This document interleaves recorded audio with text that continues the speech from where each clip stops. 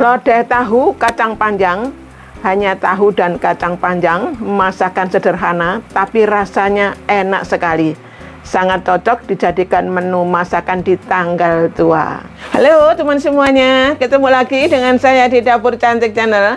Apa kabar semuanya? Pada baik-baik ya. Di episode ini Dapur Cantik akan membuat lodeh tahu kacang panjang. Penasaran? Ayo segera kita mulai ya membuat lodeh tahu kacang panjang. Di meja sudah ada tahu putih dan kacang panjang ya untuk membuat lodeh tahu kacang panjang.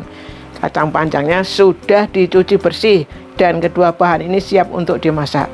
Tahu putihnya saya potong-potong dulu ya. Ukurannya sedang saja. Tapi sesuai selera saja ya untuk besarnya ya, ukurannya, bentuknya sesuai selera masing-masing saja.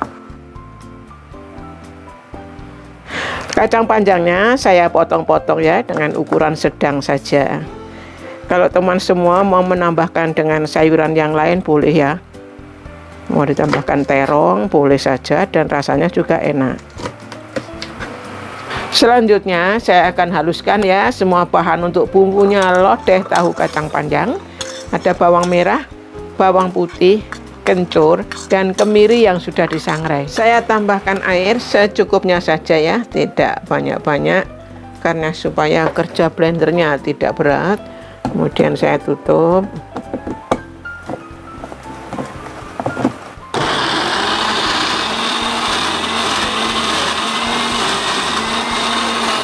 cabai hijau dan cabai merah yang besar saya potek-potek saja seperti ini ya teman semua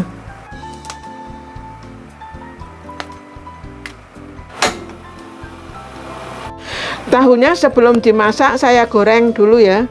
Minyaknya sudah panas. Digoreng setengah matang ya teman semua. Jadi bukan sampai kering, tapi setengah matang saja sudah cukup.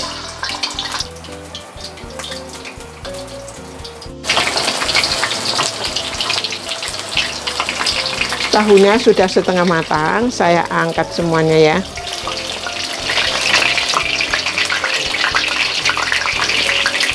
Sekarang saya mulai masak lodeh tahu kacang panjang ya. Saya masak langsung di panci ya teman semua. Saya tidak menggunakan wajan. Ditumis-tumis. Sambil saya masukkan bahan yang lainnya. Ada daun salam, lengkuas yang sudah digeprek, kemudian daun jeruk purut yang sudah dibuang tulang daunnya sambil diaduk-aduk. Saya tambahkan ketumbar bubuk. Jinten bubuk. Gula pasir.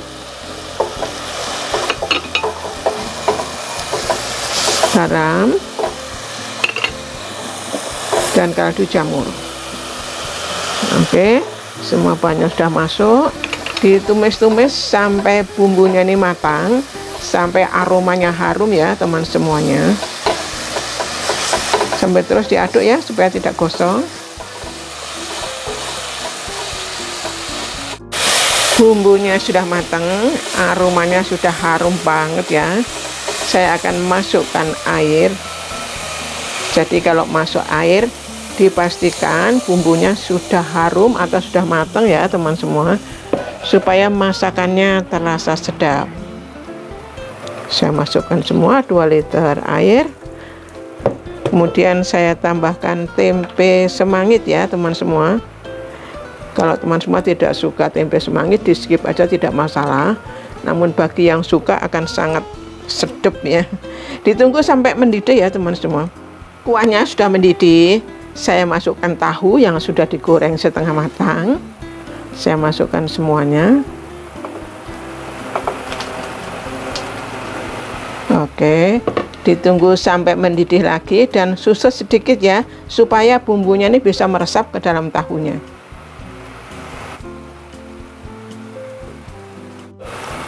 Kuahnya sudah mendidih dan sudah susut sedikit ya.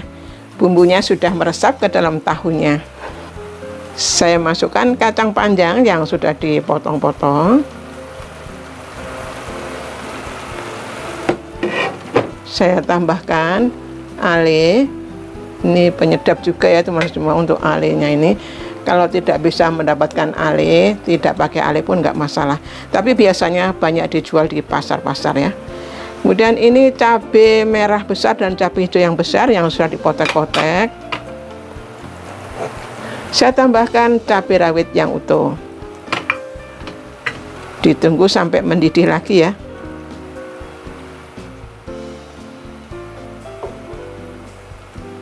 Sudah mendidih lagi ya teman semuanya kuahnya ini. Saya akan masukkan santan. Saya menggunakan santan instan dengan kemasan yang kecil ya. Kalau teman semua mau menggunakan santan yang langsung diperas dari kelapa parutnya, boleh-boleh saja. Kalau sudah masuk santan, diaduk-aduk ya, supaya kuahnya tidak pecah. Jadi ditunggu sampai tidak bau santan yang mentah, sebentar lagi ya. Jangan lupa untuk dicicip rasa ya teman semuanya. Disesuaikan selera masing-masing saja ya untuk asin manisnya. Kalau ada yang kurang, bisa ditambahkan garam ataupun gulanya. Saya sudah cicip dan rasanya sudah enak, sudah pas. Lodeh tahu kacang panjang sudah matang. Saya matikan dulu apinya ya. Lodeh tahu kacang panjang hanya tahu dan kacang panjang, masakan sederhana tapi rasanya enak sekali. Sangat cocok dijadikan menu masakan di tanggal tua. Semoga bermanfaat ya masakan ini buat teman semuanya. Jangan lupa untuk berbagi dengan teman yang lainnya. Sampai jumpa lagi di menu-menu berikutnya di Dapur Cantik Channel. Dadah!